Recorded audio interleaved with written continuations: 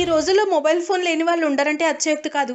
అన్ని పనులు మొబైల్ ఫోన్లో చక్కబెట్టే వెసులుబాటు ఉండడంతో ఇప్పుడు ఇది ప్రతి ఒక్కరికి మంచి నేస్తం అయిపోయింది. అయితే లేటెస్ట్గా సెల్ ఫోన్ వాడకంపై పరిశోధకులు ఓ అధ్యయనం నిర్వహించారు. సెల్ ఫోన్ అధికంగా వినియోగించినప్పుడు దాని నుంచి బ్లూ లైట్ విడుదలవుతుందని దానివల్ల చర్మం డ్యామేజ్ అవుతుందని తెలుసుకున్నారు. దీని గురించి ముంబైకి చెందిన ప్రముఖ డెర్మటాలజిస్ట్ డాక్టర్ షెఫాలి మాట్లాడుతూ గంటల తరబడి సెల్ ఫోన్ వాడే వ్యక్తులు పిగ్మెంటేషన్ గురవుతారని తద్వారా చర్మం బలహీనపడడంతో పాటు ఇన్ఫ్లమేషన్ కూడా వస్తుందని తెలిపారు.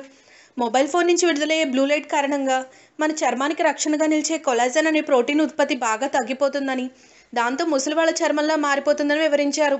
చర్మంపై ముడతలు రావడంతో పాటు నల్లటి వలయాలు ఏర్పడతాయని చెప్పారు.